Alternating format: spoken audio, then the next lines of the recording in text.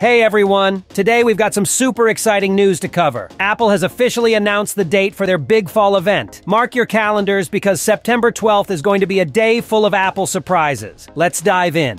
The event is scheduled to take place in Cupertino, California, the heartland of Apple's innovation. They're known for introducing a variety of new products at these annual events, and this year is no exception. So what can we expect from this year's Apple event? Well, the rumor mill is buzzing, and here's what we've heard so far. First up, we've got the iPhone 15 Pro and possibly an iPhone 15 Pro Max, or as some rumors are suggesting, it might be called the iPhone 15 Ultra. These models are rumored to come in new color variants, specifically titanium gray and blue, which sounds really cool. But the biggest game changer could be a periscopic lens on the Pro Max or Ultra version. This could revolutionize iPhone photography as we know it. That's not all. The base models of iPhone 15 and iPhone 15 Plus are also getting a facelift. According to leaks, these models will feature a new design with a dynamic island notch, reminiscent of last year's high-end models. And here's something many have been waiting for. USB Type-C ports in all the new iPhone 15 series models. What about the Apple Watch, you ask? Well, we might see new versions of the Watch Series 9 and Watch Ultra 2. Although not much has been leaked about them, Apple is known for throwing in a surprise or two. So, there you have it. September 12th is looking to be a pretty significant day for Apple. We'll be following the event closely, so make sure to subscribe and hit that notification bell so you don't miss any updates. Let us know in the comments what you're most excited to see at Apple's big event. Until next time, see you in the next video.